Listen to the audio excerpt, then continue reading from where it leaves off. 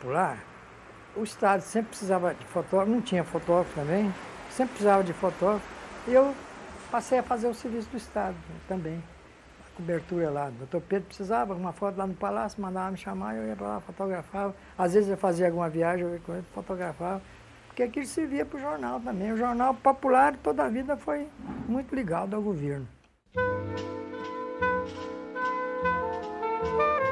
Não lembro certo qual foi a primeira fotografia, mas eu me recordo muitas fotografias na, na exposição agropecuária. Ele gostava dele, ele ia sempre, comparecia junto com, com o Câmara Filho. Aleatoriamente, olhando as fotografias assim, a gente pode mostrar que durante um comício aqui em Goiânia, lá na, na, na Praça, Praça Cívica, naquele coreto, lá fez uma, faz, fazendo um discurso. Nessa fotografia que é interessante, porque aparece aqui o Bernardo Saião, José Ludovico de Almeida, que foi governador de Goiás, o doutor Pedro discursando, e esse aqui de óculos, que era um repórter na época, esse aqui é o, é o, o Índio Artiaga, que mais tarde foi prefeito de Goiânia. Teve uma época que ele teve que fazer uma viagem para fora, aí ele empossou Jonas Duarte, esse Jonas Duarte era um político lá de Anápolis. Ele substituiu o doutor Pedro nessa época, foi ele que impulsou, né? Você vê aqui várias autoridades. Jonas Duarte foi, foi, ficou no governo até que houve aquele desastre de avião que morreu o filho do doutor Pedro. Aí o doutor Pedro voltou e o, o Jonas Duarte passou. Ele, ele desceu do avião, né? foi recebido pelo Mauro Borges, novinho ainda, lá, tá vendo? Mauro Borges, mais um secretário, ele, amparado, porque ele achei muito emocionado, né? E a turma juntou lá, segurando ele, amparando e tal. Essa foto, por exemplo, isso aqui foi uma visita do Juscelino aqui em Goiânia. Está o, o, Jonas Duarte, que era o vice-governador, né, que foi, foi empossado uma vez como governador, e aqui José Ludovico de Almeida, que mais tarde seria governador de Goiás. De modo que aqui nós temos praticamente três ex-governadores de Goiás, né? e o JK perto. Né? Essa foto aqui, uma foto do doutor Pedro com a dona Gersina. Dona Gersina foi uma mulher 100%. Era, por isso mesmo ela foi, ela foi chamada de mãe dos pobres. Ela ajudava muito os pobres, né? Parece que teve uma época que ele, ela falou para o doutor Pedro, olha, nós estamos aqui, você cuida de construir a capital e deixa os pobres na minha conta. Aí ela fundou a Santa Casa, de Misericórdia, que se não me engano agora está fazendo 60 anos. Lá na fazenda, onde o doutor Pedro tinha, a gente, uma vez nós fomos lá, isso aqui durante o almoço ela, a primeira dama, servindo o pessoal. Até eu sentei na mesa nesse dia que eles me chamaram, ela foi me servir na mesa. Falei, é muito, muita importância para mim sendo servido pela primeira dama do Estado. E era um homem também muito sociável, eu gostava muito desses bailes no, no, no Jockey Club, aparecia muito lá, eu tenho várias fotografias dele lá, em várias coisas, e carnaval, ele gostava de carnaval. Uma vez eu fotografei o doutor Pedro brincando carnaval com lança-perfume. Ali, entre os amigos, joga num, joga no outro e tal. Isso é uma coisa que, que hoje em dia a gente não vê mais isso. E não vê um governador hoje fazendo isso. Porque o governador hoje é tudo cheio de empáfia, não é? Durante todo o tempo dele do governo, que ele ficou de 1951 a 1954, 54, 55, começo de 55.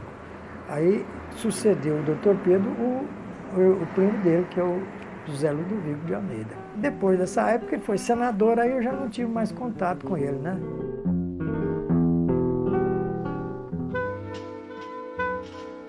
Acabou o governo do doutor Pedro, o Juca foi candidato. Aí ele candidato, ele contra Galeno Paranhas. Galeno Paranhas era da UDN e o doutor Juca, do PSD daquele tempo. Aí houve um problema lá, que teve uma urna e teve que ser anulado. Aí houve uma, uma eleição é, é, suplementar, só, naquela, só uma urna. E durante esse tempo, assumiu o governo o Bernardo Saião. Ele ficou um poucos, uns tempos no governo, né? Enquanto preparava aquela eleição suplementar, etc e tal, isso demorou aí uns dois, dois, três meses quase, uma coisa assim, né? Quando houve a eleição, dizem que o doutor Juca perdeu a eleição. Mas naquele tempo era a época da, do PSD, né? Aí ele acabou, foi conclamado governador, foi eleito, né? Mas a transição foi essa. Pois aí ele já, ele já, ele já estava no governo, porque ele foi secretário da Fazenda, do Pedro do Vico e tal, mas continua o governo. O Juca, quando ele é secretário de Fazenda, doutor Pedro iniciou a construção da usina do Rochedo. E ele continuou a construção. Aqui eu tenho várias fotos dele eh, visitando as obras do Rochedo. Essa foto aqui, por exemplo, uma vez foi visitar lá, o doutor Gil foi visitar e levou o Saião, que era o vice-governador dele. Tá aí o doutor Gil com o Saião lá na usina do Rochedo. Conheci o Juscelino lá em Uberlândia, quando ele foi candidato a governador de Minas. Eu até não votei nele, não. Lá eu já, já, já era eleitor, não votei nele porque achei o nome dele muito complicado, Kubitschek. Falei assim, homem, isso é estrangeiro. se bem que tinha um Oliveira lá, né? Aí eu votei no outro, mas se não me engano foi Bias Forte, uma coisa assim. Ele foi eleito governa, governador de Minas e às vezes ele vinha visitar Goiânia. Eu tenho umas fotografias dele como governador visitando aqui, por exemplo, no, no, no, centro mineiro, ele veio inaugurar um centro mineiro aqui. E aquilo a gente vendo ele discursar, e eu fui, eu fui e falei, mas esse cara é bom, isso é, é bom de, de serviço. Aí passei a ser fã dele. Falei, esse agora tem meu voto para onde ele quiser. E de fato, votei nele para presidente e depois acompanhei e votei nele para senador.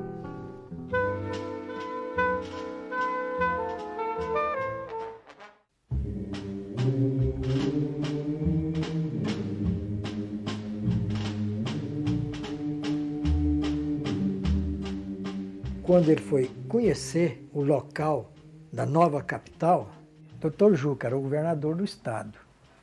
Aí estava lá também Altamiro de Moura Pacheco e o Bernardo Saião, que era o vice-governador do estado.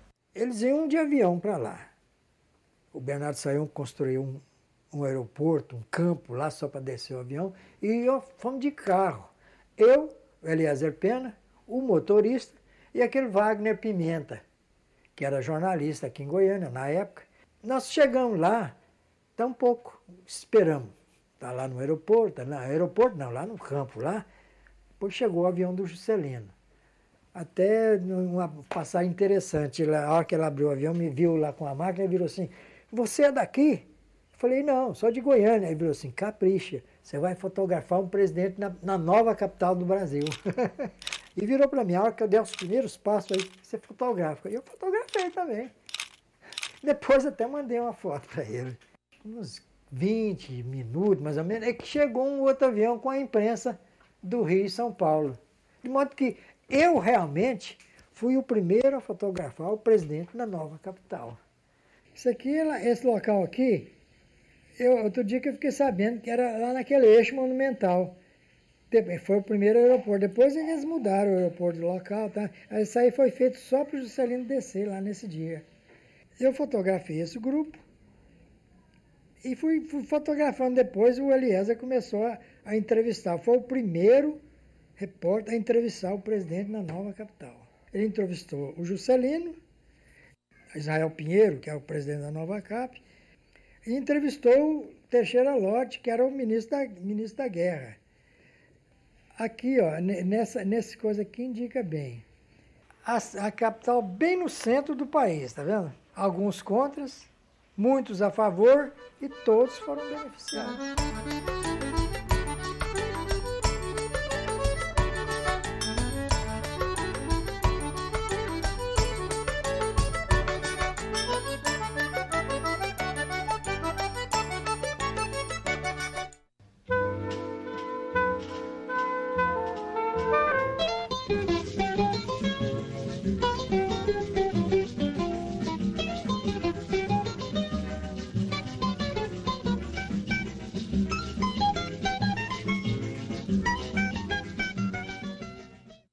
Resolveram fazer um mandato tampão para coincidir com a eleição do presidente. Para ficar uma eleição só. Elegia governador, presidente, deputado, senador, tudo isso. Aí resolveram lançar a candidatura do José Feliciano para preencher esse mandato de dois anos. De modo que o Feliciano foi eleito, mas foi dois anos só. Assim, assim também foi o prefeito de Goiânia, que eles queriam coincidir os mandatos, né? O Jaime Câmara foi prefeito de Goiânia por dois anos também. Foi eleito o Jaime Câmara e o, Feliciano. Só por dois anos. Foi um mandato tampão que eles falavam naquela época. O Feliciano, ele continuou as obras que o Dr. Juca vinha fazendo, inclusive usina, usina da Cachoeira Dourada, e foi um governador estritamente ligado à educação. Ele construiu muitos colégios e grupos escolares para esse Goiás afora. Tanto que depois foi uma dificuldade, porque não tinha professor. E ele não tinha verba para contratar professor. O negócio foi, foi atrapalhado. Aí foi a época que construiu aqui o Pedro Gomes, o Colégio Pedro Gomes, né? Que ele inaugurou o colégio. Aliás, ele terminou a construção do colégio e eles não estavam sabendo qual era o nome que dava para